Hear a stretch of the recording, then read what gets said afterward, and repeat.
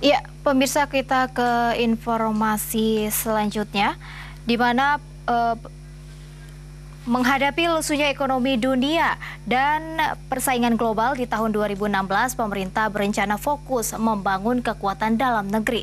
Hal ini diungkap Wakil Presiden Republik Indonesia, Yusuf Kala, saat menjadi pembicara dalam News Forum bertajuk Indonesia 2016 Challenge and Opportunity di Gedung MNC News Center Kebon Siri, Jakarta Pusat.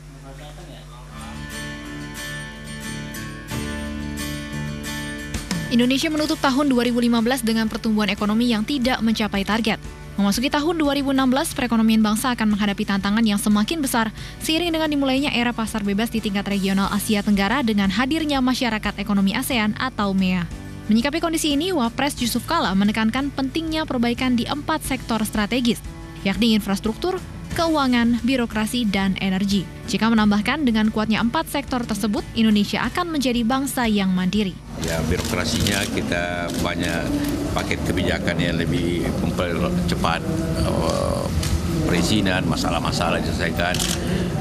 Kalau finansial kita turunkan bunga untuk KM, juga juga uh, menurunkan BI rate, mendorong itu sehingga lebih murah dan juga energi tadi. Itulah upaya pemerintah mengatasi. Hal senada juga diungkap oleh CEO MNC Group Haritanu Sudibyo.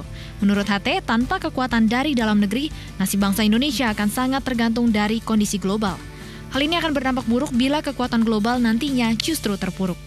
Ya memang begitu, bukan hanya membangun Indonesia. Untuk membangun negara yang kuat memang harus membangun kekuatan dari dalam. Kalau tergantung dari, dari luar kan bahaya. Ya, jadi begitu kekuatan luar melemah ya kita ikut lemah.